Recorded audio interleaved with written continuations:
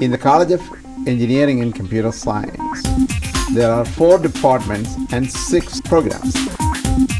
The departments are electrical engineering, mechanical engineering, civil and environmental engineering, and computer science. The undergraduate programs are in computer engineering, electrical engineering, civil engineering, mechanical engineering, and computer science. Those are the five undergraduate programs. At the graduate level, we have master's programs in computer science, software engineering, mechanical engineering, civil engineering, and electrical engineering. And we are embarking on a new program in, in environmental engineering.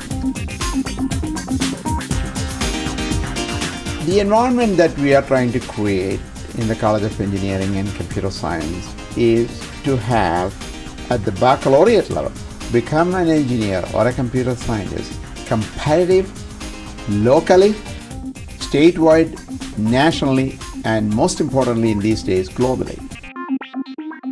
I think the college has a very good atmosphere for that promotes uh, students' learning, and um, I, I definitely have enjoyed have enjoyed my learning experience while I've been here.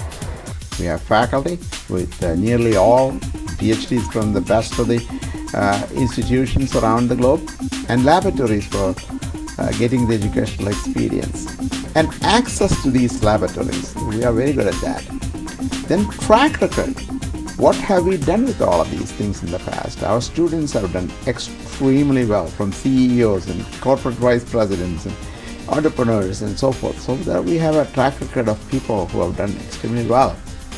You know, it's, it's been a great experience um, with the faculty and other students here, and also um, just become interested in the field that, that I'm in.